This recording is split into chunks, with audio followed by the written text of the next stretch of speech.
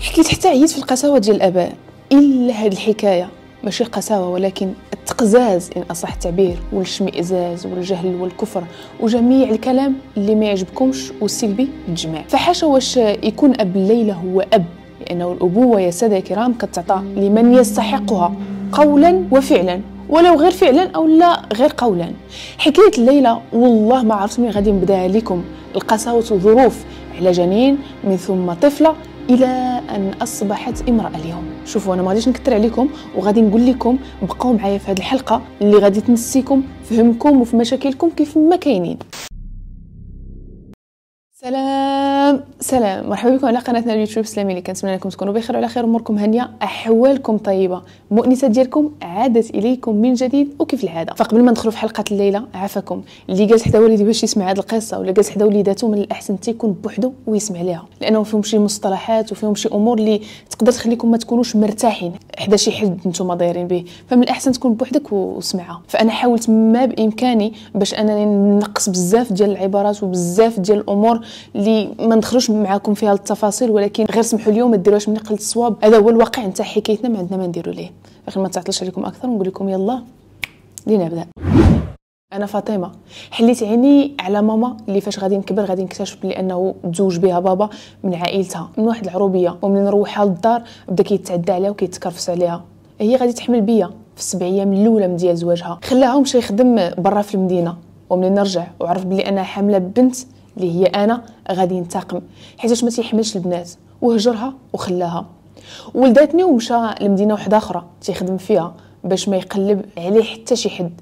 وغادي يتعرف على مرا واحدة أخرى. وغادي يعيط على والديه اللي غادي يخسر عليهم تليفون واحد. قالوا أنا ما تليتش بغيت ديك اللي عندكم تما. لا هي ولا بنتها. شوفوا كيفاش تفكوا منها حيت أنا تزوجت. فعلا تزوج وقدم راسو للعروسة الجديدة وكذب عليها هي وأهلها في المعلومات عليه. باللي مو كبيرة في السن وباه ما تيمشيش وأختو كتقرأ. وعطاهم معلومات اللي هي غلطة على راسو وعمره ما قال لهم بلي أنه كان مزوج وعنده بنت اللي هي أنا فاطمة. غادي تهزني جدة. أنا وماما اللي كانت حتى هي قبيحة جدة وداتنا عند جدة الأخرى اللي هي موت ماما. غادي تقول لها يلا زياره عند أهلك. ماما على نيتها. مشات معاها والأخرى خرجت وخلاتنا. فاش ماما قالت لها نرجع معاك قالت لها جدة لا غير خليك حتى تشبعي من والديك. في الاخير فاجئوها بالطلاق وقالوا لها راه ولدنا ما تلاش باغيك. أنا منين بديت كنعقل شوية ماما غادي تهزني وتديني عند باها في العروبية. حيت باها وأمها كانوا مفروقين. بمعنى نمشيو نعيشوا مع جدي ومرتو واحد شوية. ولكن منين شافت التعدد الظلم غادي تخرج تكري واحد البيت في واحد الدوار وداتني معاها. باقا كنعقل على شي حوايج اللي خايبين وما زوينينش. فاش بديت ندير ديك ست سنين ونص كنعقل على راسي أنا والوالدة كنا كنمشيو للسوق وكنسرقوا من عند هذا بطاطا ومن عند هذا مطيشة باش نقدروا نعيشوا شي يامات كنعقل على راسي كنمشي. أنا وماما هزة خنيشة وكنطلبوا في ديك الوقيتة بابا كان باني حياته مع واحدة أخرى ووالد منها. وياما سعيت أنا وماما. وطلبنا في الديور وفي الدواور. كيخرجوا لينا أتاي والسكر وخبيز وتناكلوا وكيعطيونا داكشي اللي قسم الله. يا حوايج يا سكر أي حاجة. كتجمعها ماما وكتجيبها للدار. شي يامات تنعقل على راسي ماما كانت كتخليني وكتخلي ليا الساروت. نتاع داك البويت وكتمشي تخرج الموقف كترزق على الله. أنا كنبقى ملوطة. مرة كنمشي عند دار جدة اللي كانت قريبة من البيت ديالنا اللي كرينا. وشوية كنبقى جالسة في داك البيت بوحدي. كنتسنى ماما حتى تجي. كنت تنعقل على بزاف ديال الحوايج. بحال مثلا ماما خدمات شيخه في القياطن وشي لقطات عندي من الطفولة ديالي اللي كانوا خايبين. غادي نتعرض لمحاولات اغتصاب شحال من مرة. منين كنت مع ماما من طرف الخليل ديالها. كانت بعلاقة مع واحد اللي ما عرفش صراحة واش كانت أنا داك في طريق الفساد أو لا كان غير هذاك الوحيد اللي بينها وبينه شي حاجة. ما عرفتش. باقا كنعقل. منين نحاول أنه اغتصبني عقلت على راسي مشيت كنجري لعندها. وكنقول لها بلي ماما شنو وقع وأنا ما عارفاش بلي أنه داكشي اللي وقع راه شي حاجة اللي هي خطيرة. ولكن هي ما كانتش ردة الفعل ديالها طبيعية. بدات كتضحك ودوزت هذيك. في الذاكرة ديالي عندي بزاف ديال الحوايج بحال هكا. وكلهم لقطات. حيتاش كان العقل ديال الصغر ما بين ست سنين خمس سنين. شي يامات مور هذا الشيء بديت كنعقل أنا وماما كانت كتشدني وكتطلعني للسطح ديال الجيران. وبدات كتخبيني حيتاش بابا تيقلب عليا باش انه ينتقم منا ويشفرني ليها. فبالمساعدة نتاع واحد خالتي غادي يقدر يشفرني ليها. كانت قلت ديك خالتي لماما غادي ندي معايا فاطمة تشري شي حاجة من الحانوت. جا بابا وخداني. لقيت أنا شفتو تخلعت حيتاش في حياتي عمرني ما شفتو. حتى درت سبع سنين وشي حاجة. حيت نهار خرجنا من الدار كنت أنا مازال عندي غير شي شهورة. غادي يجرني باش يديني معاه. بديت كنبكي وما عرفتوش. والصراحه كاين باين وجهه بلي أنا وجه الشر سبحان الله العظيم. من أول لقاء ليا معاه ما ارتحيتش ليه. فاش عطاتني ليه ديك خالتي غادي يمشي عند ماما ويقول لها راني توحشت بنتي بغيت نشوفها. وجيت نديها حيت توحشها ماما ما بغاتش ولكن سد عليا فواحد الطوموبيل. وجا دخل واختطفني بحال كيخطفوا شي حد بحال كيخطفك شي حد غريب. وأنا مخلوعة وكنغوت وكنضرب في الطوموبيل وكنتمرخ غادي نمشي حتى عند واحد عمي اللي دوزت عنده مدة طويلة. تكون شي شهور كتار حتى لواحد النهار. غادي تجي توقف عليا ماما. عند هاد عمي حيتاش عرفات البلاصة. كنعقل ديك الساعة غادي تشد عمي وتقول ليه تقليد عليك أفلان فاطمة راه في عنقك. بنتي أمانة عندك ما تعطيهاش لبا حيتاش قبيح وغادي ينتقم مني بنتي. كانت عارفاه أنا ذاك أنا ما كنتش عارفة بلي أنه ماما فيها المرض الخبيث السرطان. وديك الوقت كان جات وهزه معاها واحد الوليد. وقالت لي شوفي يا فاطمة هذا راه ولدي. ولدته مع شي واحد اللي تزوجات به. وقالت لي بلي أنه حتى أنا راني عشت في العذاب. غادي نهز خويا ما بين يدي ونبقى نبوس فيه ونضحك معاه. عمي ومرته كانوا كيتعاملوا معايا مزيان. بابا مرة مرة كان كيجي عند عمي كيخرجني مرة مرة ويقطع لي شعري بحال الدري. عمرو خلاه ليا يطوال. واحد النهار غادي يقول لي غادي نسولك أنا وعمك ومرت عمك. تختاري فين بغيتي تعيشي وتجلسي واش معايا أنا باك وخوتك ولا مع عمك ومرته وبنتهم. شوفي فاش يسولك هذا السؤال فاطمة اختاريني أنا. أنا بالعقل ديال الصغر وما عارفاش بلي أنه با خبيث وش لا أمور غادي يسولني وغادي نقول لهم بغيت با ومن هنا غادي تبدا حكايتي الحقيقية. نهار قلت بغيت با بدا العذاب النفسي والجسدي. إذا دخل من الخدمة كان كيجي عندي نيشان كيضربني. علاش ما سلمتيش عليا؟ وإذا سلمت عليه كيعطيني يديه نبوسها وفاش نتحنى عليها تيضربني. ما كانش تيحملني نهائيا. غادي يدخلني المدرسة اللي بسببها اليوم عندي حروق في الجسم ديالي. كان تيكويني على الطباشير إذا جليتو أو ولا إذا هرستو. كان كيكويني على أي حاجة. المنجرة إذا ما لقاش في شكارتي كيعذبني عليها. وإذا هضرات معاه مرت با تيقول لها ما سوقكش فيها هذه بنتي ندير فيها ما بغات. حتى تولدي أنت وديري فيها ما بغيتي. حيت أنا مرت با ولدات ربعة تاع الدراري وكان عندها الشوق باش أنها تولد بنيتها. ولكن هو كان تيدير الفتنة ما بيني وما بينها باش أنه ما تحنش عليا وما تحملنيش. ولا تيغيرها مني ولا يجيب لي بعض الخطرات شي حوايج بالعاني أنا وولادها لا باش يزرع الحقد بيني وبينها. هذا الشيء حتى كبرت عاد باش فهمته وفهمت معاه أنه نجح في أنه يخليها ما تحملنيش ولما هو كيخرج هي كانت كضربني وإذا هو حضر هو راه كيتكلف. واحد العذاب ديال بصح. إذا كان هو في الدار وأنا جالسة ما تندير والو خاصني نهز كتب نحفظ وهذا الشيء اللي تنحكي لكم راه وأنا مازال غير في الأول ولا في الثاني ابتدائي. يا ويلك! إذا جا ما لقانيش هزا كتوبي تخيلوا معايا تيشدني من شعري وكيعطيني العصا تاع الكبار. واحد النهار باقا كنعقل في الفطور جالسة كنشرب الحسوة. وجا وقف عليا وبدا تيضحك وقال لي فاطمة أمك ماتت. تصدمت. بدا تيقولها ليا بواحد الطريقة كيتشفى فيا. باقا عاقله على ديك الحسوة. دموعي نازلين فوق منها تيتقطروا عليها. غادي تشدني مرتبة وقالت لي شوفي ما تثقيش به راه هو كذاب. ديما كيتفلى على عباد الله هو أصلا غير كذاب وعمره ما قال الحقيقة. وفعلا با كذاب ولكن ديك النهار كان قال الحقيقة. لا غد لي غادي يجي عمي ومرتو هزوني وداوني نشوف ماما. غادي يدخلوني عليها وهي كتغسل. وحتى حد ما راه على الصغر ديالي. تكون عندي أنا داكشي 8 سنين دوز ديك الفترة وكتلقاني مرت با ديما جامعة ركيباتي وتنبكي وكنتنخس تفرقنا. كتجي كتقول لي انت كتبكي هاد البكا حرام أجي نعطيك العصا باش تبكي حلال وكناكل هلكه من عندها. عاوتاني هو فاش تيجي كيهلكني.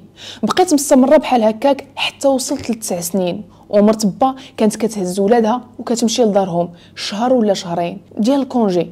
وملي كنبغي أنا نمشي معاها؟ باش حتى أنا نفوج مع خوتي تيقول ليها با لا ما تديهاش معاك حيت ماشي بنتك خليها هنا وخرجي سوقها. آه هي كتخليني وهو كيستغلني أنه يتعدى عليا جنسيا ولكن ما فخبرهاش. فاش كيسالي كيديني العروبية عند جدة اللي عاوتاني حتى هي كتكمل عليا وأنا صغيرة. تيزيدوني نسرح البهايم نغسل الماعن وزيد وزيد وزيد. غادي نوصل للسادس ابتدائي والاب ديالي كل مرة كان كيتسنى غير الفرصة فين يتعدى عليا. ومن بعد فاش كيسالي كيبدا يهز الموس وكيهدد فيا. إذا قلتيها لأمك زعما على مرتو حيت أنا كنت نعيط عليها ماما غادي ندبحك ونديرك في ميكات كحلين ونديك الطريق الفلانية ونلوحك فيها. طفولتي كلها دوزتها كوابيس بالنهار وكوابيس بالليل. ديما تنحلم به تيذبح في مرت با ولا تيذبحني. حتى ولا داك الموس مشكل ليا حياتي أو لا عقدة في حياتي.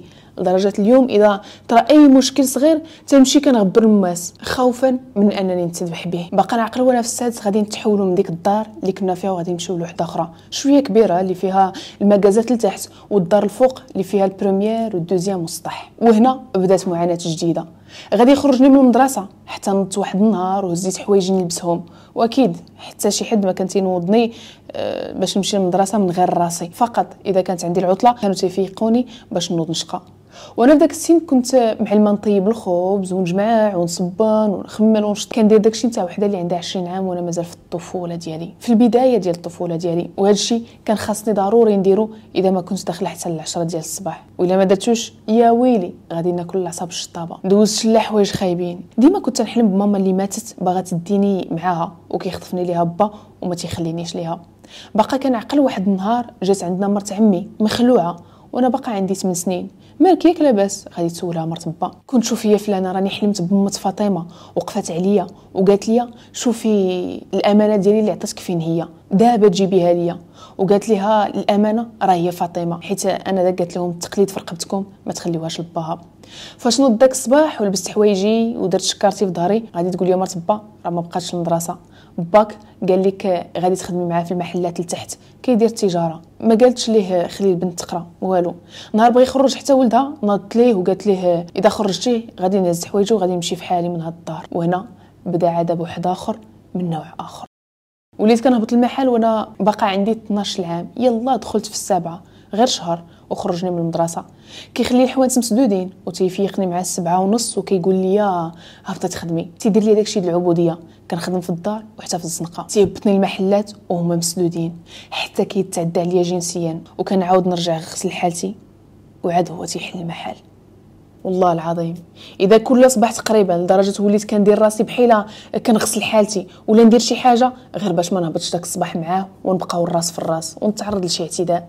وأنا صغيرة عمر شي حد علمني نصلي تعلمت بوحدي. واخا الوضوء كنت كنديرو غلط كنت نصلي باش أنه ربي نجيني من هذا الاعتداء ديال بابا الوحش. وكنتمنى ربي يدير لي شي طريق ديال الخير باش نخرج من وسط هذه العائلة. كل نهار كان هذا هو الحلم ديالي. بقيت بحال هكاك حتى وصلت لسن 15 سنة. وأنا نمشي واحد النهار عند مرتبة. وقلت لها شنو هو الحل الوحيد باش أنني نهرب من بابا اللي تيعطيني العصا؟ وديك الساعة غادي نعترف ليها وقلت لها راه كيتعدى عليا جنسيا. وهي تقول لي أنا غادي نهبط نواجهه. أنا خفت أنه يقتلني ولا يدير فيا شي حاجة حيتاش ديما تيهددني. ومعاه هو تيصيد وعنده السلاح في الدار بقيت كنطلبها وكنرغب فيها عافاك الله. هي تاقت وما تاقتش. بدات كتقول واقيلا بصح واقيلا لا. واحد النهار خلى الباب مسدود ديال المكازات وغادي يعيط عليا هبطي. أنا مشيت عند مرتبة كانت ناعسة. فيقتها من النعاس أنا مزاوقة ماما. عافاك عتقيني راه هو سد ال magasins وتيقول لي هودي راه واقيلا باغي يدير ليا ويفعل ليا. قالت لي غير سيري راه ما عنده ما يدير لك ما عرفتش كيفاش شنو طرا ليها وربي قودها وتبعاتني. وبقات في الدروج الفوقانيين وكتصنت غادي تسمعني تنقول ليه بعد مني. أنا راني بنتك. ديرني بحال ديك بنت الصغيره اللي عندك. حيتاش تزادت عنده. وما ديرش ليا وما تعداش عليا. عافاك بابا. غادي تشوفو كيجر فيا. وهي تغوت عليه. نعلت الله عليك بدا كله كيترعد. وقال لها نعلت الله عليك. انت مالي؟ شنو تندير؟ ما تندير والو. حيت صراحة ما لقاتوش شي وضعية خايبة يلا تيشد فيا. وأنا كنت كنتنطر منه. هو يخلي الباب مسدود نتاع داك المحل وداني المحل واحد آخر اللي كان قريب وبدا كيوصي فيا. ناري غادي تشوهيني ناري هذا. شوفي إذا سولاتك قولي كنت كنقول لك تجبدي ليا شي فاكتورات قدامين. عندك تقولي إذا فضحتيني غادي نقتلك وندير لك ونفعل لك. صافي أنا ما غاديش نقول. غادي نمشي للدار عند مرتو ويبدا يقول لها وانت اللي كتشكي فيا؟ بحال بغى يقلب عليها كلشي بحال هو زعما راه ما داير والو. من بعد غادي ندير 16 17 عام كانوا كيجيو فيا بزاف ديال الناس أنهم يهضروا. يهضروا باش يتزوجوا بيا. نهار تيجي تيخطبني شي حد كناكل قتلة ديال العصا وكنتهدد في المكازه ويقول لي إذا مشيتي تزوجي ما غاديش نعرفك. علما أنه تيحرت عليا وكيخلصني بحالي بحال الخدامه اللي كيحط السلعة. ومنين تنقول لي راني عييت وما نقدرش على هذا الشيء وسبع سنين دوزتها معاك كندخل داك المحل بحال تندخل الحبس المؤبد وتنخدم غير مع الرجالة. قليل اذا جات شي مراه تقدم من عندنا السلعه تيدور فيا ويقول لي أنا هي الفاعله ما تنحركش عليك فابور كتخدمي وكتخلصي.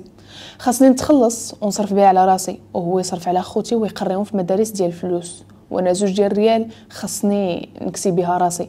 وإذا مشى جاب لي صندالة تيقول لي خلصني فيها راني غادي نحيد عليك من الخلطه فين ما كان تيجي شي حد يخطبني أنا تنقول آه ولكن هو كان تيرفض. غادي ندير 18 عام وغادي ندير البيرمي من فلوسي. وهذا الشيء كله اللي تنقول لكم راني تنخدم في الدار وفي الزنقة وكنتعرض مازال الاعتداءات الجنسية. من 7 ديال الصباح حتى 6 ديال العشية. خدامه معاه لتحت في البيرو. كناكل العصا وكيضربني قدام الناس. وكيشير عليا بالآلة حاسبة. وكينتفني قدام عباد الله. واحد الظلم اللي كان شديد. ملي كنطلع الدار تاني إذا ما شقيتش وما طيبتش العشاء وما جفيتش الدروج في داك الليل وسيقت السطح كناكل العصا من عند مرت البو. المهم أنا بقيت بحال هكاك. اللي جا كيخطبني وهو كيرفض. واللي سمع بلي أنا وشي حد باغيني تيحيد الماكله من يديه وكيجمع الوقفة.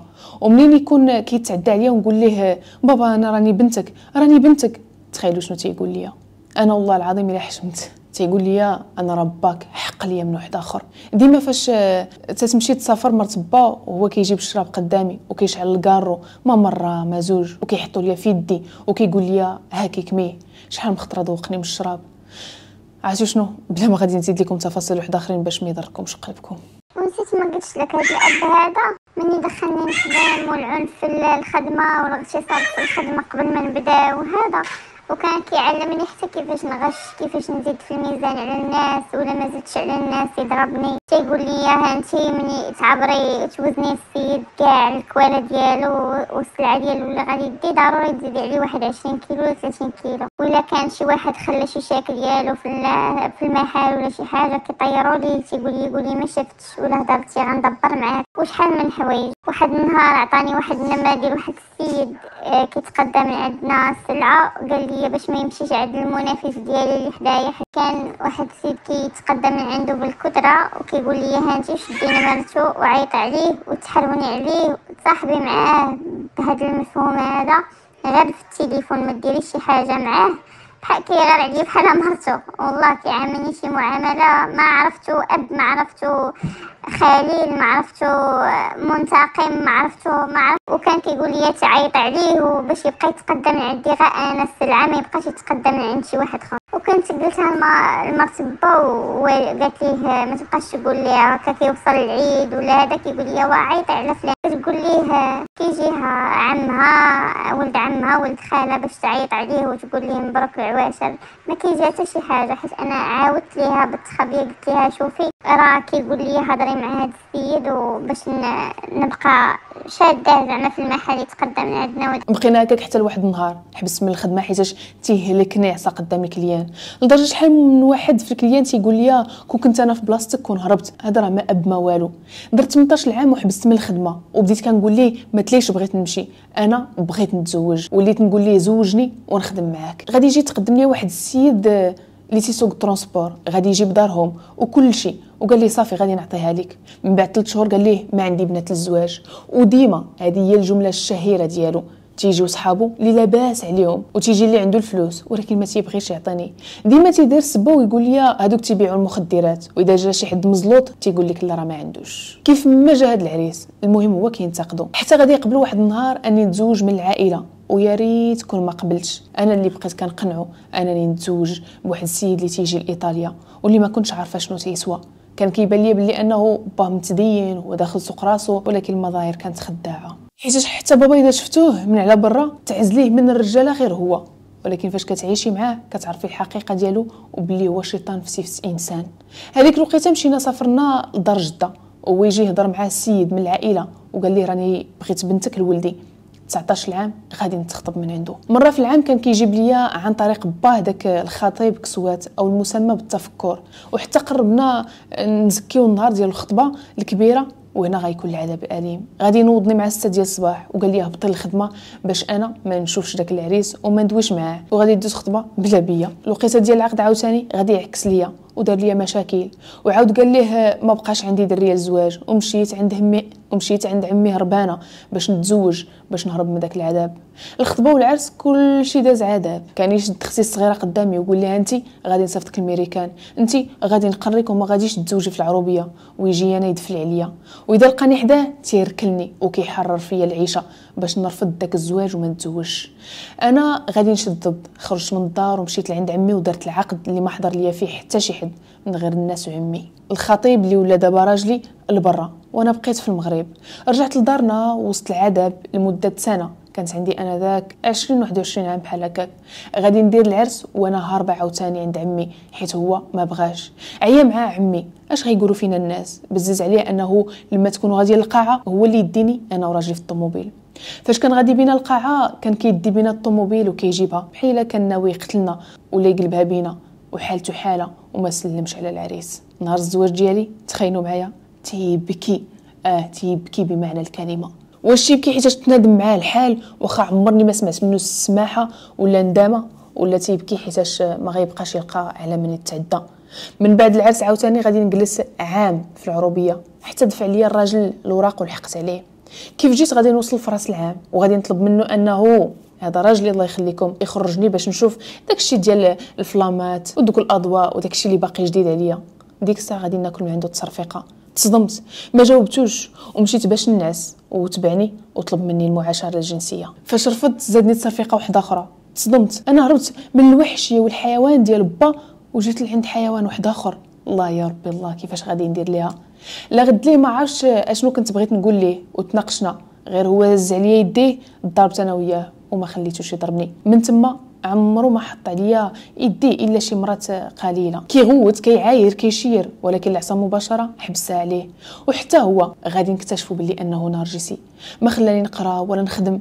وداير ليا الصمت العقابي. ما عاطيني قيمة ومهبط مني وكيعيط ليا غير بالأمية حيتاش ما كملتش قرايتي. وأكيد ما عاودتليش الاعتداءات نتاع بابا والحمد لله لأنه كان غادي يعايرني بهم. قلت له غير من القليل من العذاب اللي كان يدوز عليا با وكان يعايرني به. بقى معايا ضروري خصك تحملي ضروري خصك تحملي. أنا راني مزوج بك غير على الأولاد. كلا ليا دماغي تحملت بنتي. دوزت العذاب وما حسيت لا بوحم لا بثقل لا بتا شي حاجة. خرجها مني وكيتلاعب بيا نفسيا. نهار نخرج معاه تعيط على عائلته كلها اللي كانت ساكنة تما ويخرجهم معانا. أنا ديك الساعة معايا الله مزوجة وعقل الصغار كان كنت نقول واقيلا با تيحرش ولا مو ولا خواتاتو. واخا كنت كنلقى رسائل من طرفهم كانوا تيحرضوه. في نفاسي تخيلوا أنا في السبيطار غادي يقول لي جمعي حوايجك في الصاك وبطي لي حيت أنا ما خدامش عندك غير باش يدلني. لا أنا ما نقدرش. راني يلاه والدة. ما حسيت براسي حتى التصرفيقه جات في وجهي. عنده الزهر حيتاش ما كان حتى شي حد وما شافوش حتى شي حد أما كون جمعوه. غادي دير بنتي ربع شهور وليت باغا نخرج نتعلم اللغة وما خلانيش. دات بنتي عام بدا عاوتاني كيدور بيا. بنتك كتخرج للجرده كتلعب وكتمشي مع الدراري كتلعب معاهم خاصك تزيدي ليها شي بيبي واحد آخر باش تونس به. وحيت أنا مكلخة؟ ما كانش عند آه، بالي بلي أنه باغي يغرقني بالولاد باش ما نخدم ما ندير والو. وأنا تابعة. قلت يمكن عنده الصح. غادي نمشي نتشاور مع مرت با وقلت لها شنو قال لي فلان؟ في عوض ما تقول لي لا. بنتك تسنايا حتى تكبر راه راجلك خايب وتنصحني. غادي تقول لي لا مزيان ولديهم باش تكبريهم دقة واحدة وترتاحي. تبعتها. وزدت بنتي الثانية اللي حتى هي غادي ندوز معاناة في الحمل ديالها. كنت إذا كندوي معاه ما تيجاوبنيش. جالس حدايا وندوي معاه وافلان وافلان ما يجاوبش ولا يقمعني. ما كاينش الحوار نهائيا منعدم. إذا قلت ليه خرجني. كيقول لي هزي ولادك وخرجي لراسك. جبت حوايج باش نترزق فيهم. من واحد الدولة قال لي لا ما غاديش تطفريه حليت قناة في يوتيوب بقات حتى تسدات ليا وحيد ليا الويفي من الدار. ديما تيحاربني باش أنني ما نوصل والو. فمن بعد عام على بنتي الثانية غادي نهبط للمغرب وجلست أربع شهور وليت مريضة. نوبه الهلع وتزاديت في الوزن وليت نخلع. حياتي وليت كنشوفها غير عذاب. من بعد ما دات بنتي الثانية ثلاث سنين وليت نلقاها ما كتهضرش. دخلت المدرسة كتقول لي الأستاذة ديالها راه ما كتجاوبش معايا. ديتها عند الطبيب دينا الترويض. حتى غادي نكتشفوا بلي أنه أنه السمع غادي تينقص ليها. قالوا لنا خاصكم ديروا العملية ديال القوقعة. من ديك الوقت وأنا تنبكي. وفي حالة إحباط كنت أصلا أنا مدمرة ودابا زدت ولا ساكن ما تعاطف معايا ولا حتى مع بنته. بنته كيعيط لها وسط كل شيء غير السمكة. أول متنمر على الطفلة هو باها غادي يوصل وقت العملية وداتها من بعد فاش خرجات غادي يشربها ويوكلها. علما أنهم قالوا ليه لا. البنت بدات كترجع الدم عزاكم الله. ومن تما حالتها كانت ميؤوس منها. وما تحسناتش غادي نقص بها 12 يوم في عوض 5 أيام في السبيطار حتى تحسنات واحد شوية. المهم باختصار بزاف ديال الأمور اليوم راني تنديها وتنجيبها للترويض. وفي المدرسة تيقولوا لي عاونينا تكلمي معها باللغة ديال البلاد باش يسهل التواصل معها أنا كنمشي كنطلبوا أنه يعلمني باش نعلمها. تيقول لي دبري راسك منك ليها. أنا لحد الآن باقا كنعيش المعاناة وباغا نطلق وما عارفاش منين نبدأ. لا لغة لا خدمة وما عنديش على من نحط الراس. با خاز الفلوس الفيلا والديور والأراضي والمحلات. ولكني ما نقدرش. أنا غير إذا هبطت كونجي باقا لحد الآن كنخاف منه. تيبغي غير يعنقني كنتحسس منه كنهرب وما كنبغيش يقيسني. حيت باقا تنشوف فيه شيطان. واخا عندي اليوم زوج ديال البنات. لحد الآن أنا اليوم تنقول إذا ما طلقتش من هذا السيد غادي نعاود نعيش في نفس المعاناه حياتي القديمة. أنا اليوم عندي 28 عام. لكل ثانية فيها كانت ضايعة. النفسية ديالي مدمرة. بغيت غير نمشي عند طبيب نفساني. كانوا قالوا لي شي بنات إذا عاودتي ليه اللي داز عليك في صغرك غادي يحيدوا لك بناتك. هو تيقول لي إذا طلقتي غادي نحيد لك بناتك وما غاديش نخليهم لك وغادي ندير لك ونفعل لك. وصل كاع للتهديد أنه باش يقتلني. أنا اليوم أي واحد سمع القصة ديالي. واللي ساكن في إيطاليا. ينصحني شنو ندير وباش نبدا؟ أنا باغا نعتق راسي ونعتق بناتي. أنا الحمد لله بنتي كتسمع اليوم بلا باراي. والمساعدات ديال الدولة هو اللي كيديها. عمرو ما عطاني منها شي حاجة. حصلته بلي أيضا تياخذ حتى الدخل على المواطنة اللي خصني ناخذه بسميتي. تياخذه هو باسمي أنا. أنا دابا ما عنديش الدرهم في جيبي حيت عارفني؟ إذا عندي شي حاجة غادي نخرج ليه من هاد الدار اليوم قبل غدا. أنا باغا غير شي جمعية هنا في الطاليان اللي توقف معايا واخا تكون فين ما كانت. غير نهز بنياتي ونزيد في حالي حيت كنحس براسي راني غاديه للهاوية. لا دنيا لا دين. بعض المرات تنقول واش تبعاني شي دعوة ديال البلا. واش مامي منين كانت تموت دعات فيا. واخا أنا كنت صغيرة وما عارفة والو واش أنا اللي خرجت ليها على حياتها. شلا أسئلة اللي مرضوني وما بقيتش عارفة منين نبدأ. عافاكم. الناس اللي تيسكنوا في إيطاليا عطوني شي حل. أختي ما بقيتش عارفة منين نبدأ أختي ما بقيتش عارفة منين نبدأ وحق الله العظيم الا كنشوف راسي. ما فوق مني والارض أنا فوق منها وما عارفاش ما عارفاش منين غنبدا ما عارفاش با تنروح لي الهضرة. ما نرجعش عندو ولكن تنقول لي راه عايشه في العذاب انت اللي بغيتي كيقول لي انت اللي بغيتي تحملي مسؤوليتك؟ علما أنا خويا خوتي باقيين كيقراو في المغرب بالفلوس. وأنا الوحيدة اللي كاينة هنايا وأنايا الحنين الله رحيم إلا هضرت معاه غير تي كيلو يحشي فيا الهضرة بحال تيقول لي الطالين فيها العربية. سمحوا لي ولكن هذه هي قصتي. وهذه هي كانت حكاية فاطمة. أش غادي نقول لكم؟